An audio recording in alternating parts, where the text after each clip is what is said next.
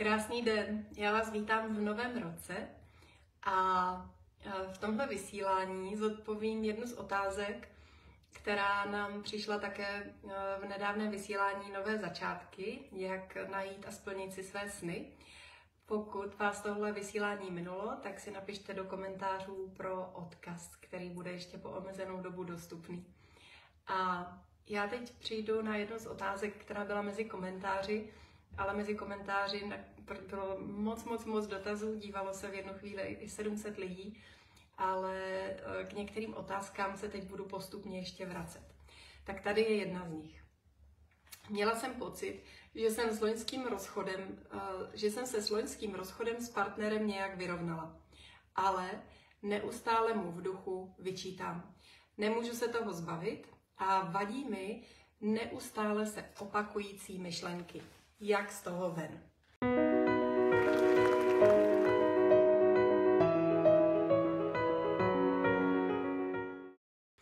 A tohle je úplně krásně popsáno.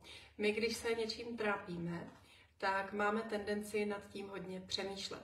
A to je přesně ten důvod, proč se dostáváme do slepé uličky. Protože se nám hodí myšlenky v hlavou, ale my se doslova točíme v kole. A proč tam jsou ty myšlenky? Ty myšlenky slouží jako takový obraný val proti tomu, abychom cítili tu bolest. My se velmi často myšlenkově cyklíme, když nás něco bolí. A my si pak přehráváme takové to, co by, kdyby, eh, nebo v duchu někomu vyčítáme, nebo se v duchu litujeme, ale když to má charakter toho myšlenkového kolotoče, tak uh, ty myšlenky tam mají tu funkci, že nás zaměstnají, abychom necítili tu bolest, která je pod povrchem. A to přesně potřebujeme cítit. My potřebujeme prožít. Proto můj první tip je, když si všimneš, že jsi zacyklená v tom myšlenkovém kolotoči, tak se zastav, zavři si třeba na chvilku oči, nadechni, vydechni, nadechni se do hrudníku, nadechni se do bříška a tak se sama sebe zeptej, aha, co teď cítím a kde v těle to cítím. Ta otázka, kde v těle to cítím, nám pomáhá dát pozornost do těla a lokalizovat ten prožitek v našem těle, protože on se odehrává v těle. Prožitek se odehrává v těle, ne v hlavě, ne v myšlenkách, ale v těle. A třeba to můžeš identifikovat jako tíhu na hrudi, nebo sevřený žaludek, stažené bříško, mm, stažená ramena.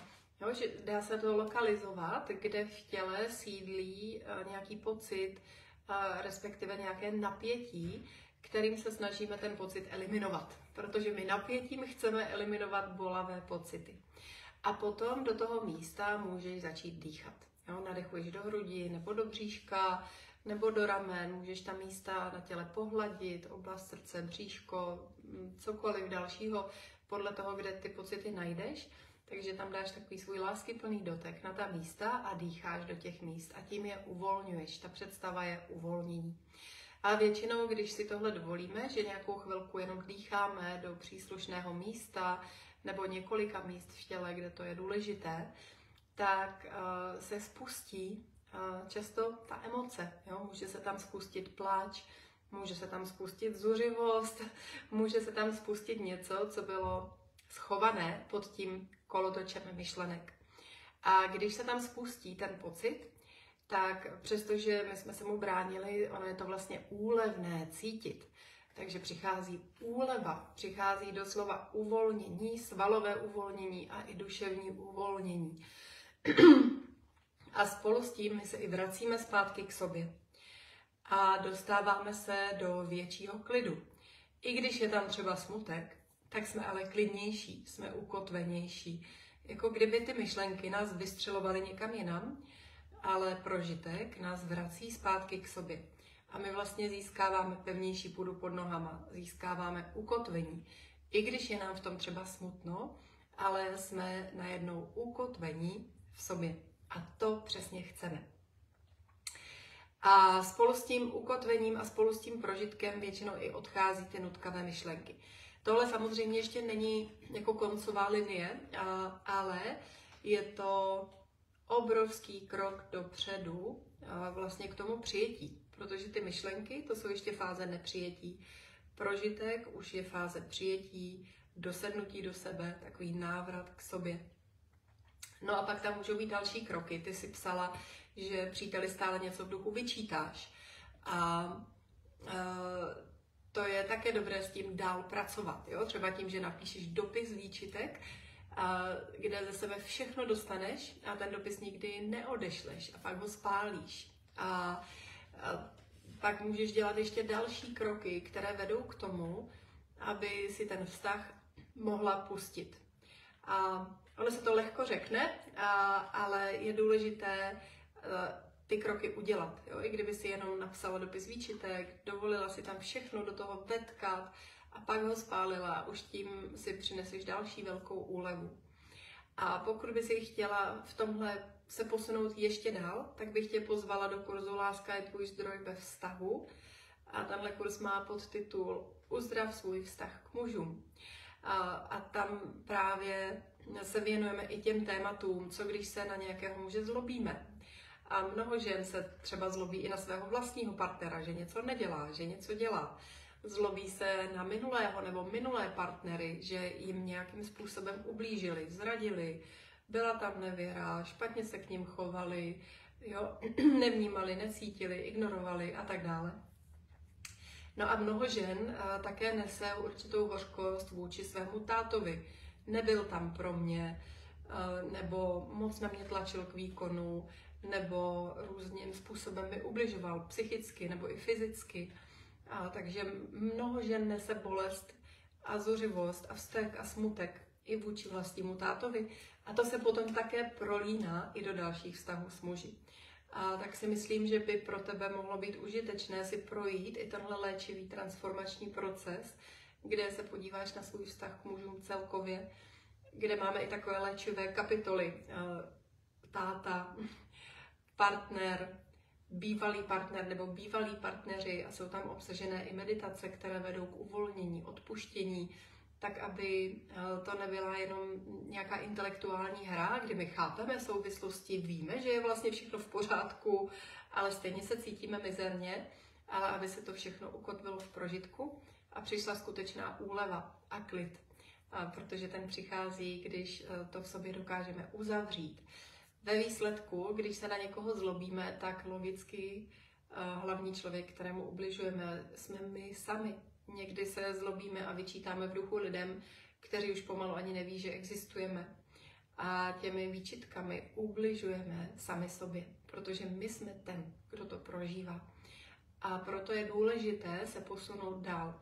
Eh, někdo se může tak jako zlobit a třeba si říká, když by to bylo v kontextu odpuštění, ty jsi se neptala na odpuštění, ale je to téma, které pro mnoho lidí může souviset. Um, tak uh, někdo si říká, jak já třeba mu můžu odpustit, když mi proved něco takového. Ale to odpuštění vede především k tomu, že my nacházíme svůj vnitřní mír, že sebou neneseme to toxické, co v té minulosti bylo pro nás. Protože znovu to zopakuju, já jsem ten, kdo to prožívá. Já jsem ten, kdo má hlavu plnou těžkých myšlenek, zlostných myšlenek, uražených myšlenek a tak dále. A tím ale ubližuju sobě, svému tělu, svému systému. Proto je důležité tu kapitolu za sebou uzavřít a vůbec k tomu nepotřebujeme součinnost eh, toho člověka, který nám v minulosti nějakým způsobem ublížil. Takže tyhle kroky bych ti doporučila. Eh, znovu to schrnu eh, za prvé vystoupit z kolotoče myšlenek a dovolit si cítit, protože to je to, co přináší skutečnou úlevu. Můžeš napsat a spálit dopis výčitek, což je velmi silný krok, když si ho dovolíš naplno prožít.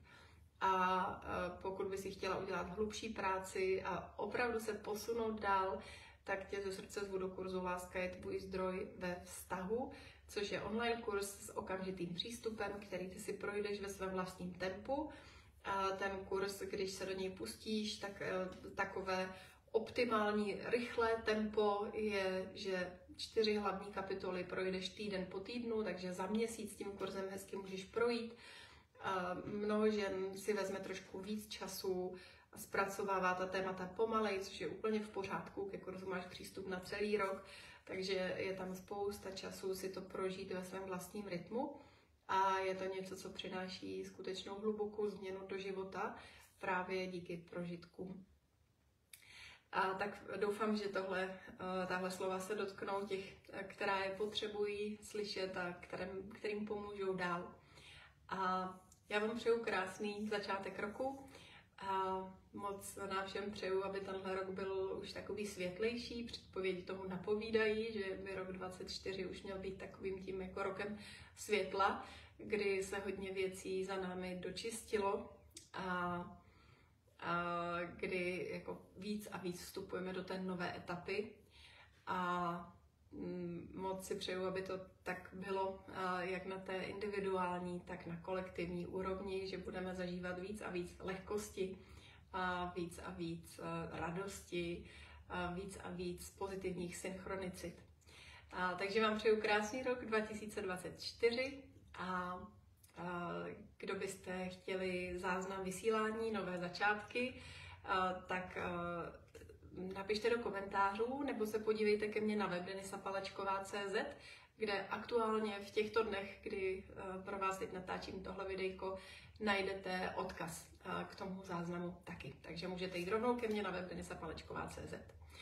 A tam pak případně najdete i další kurz, o kterém jsem mluvila, Láska je tvůj zdroj ve vztahu. Takže mějte se krásně a budu se těšit zase na viděnou.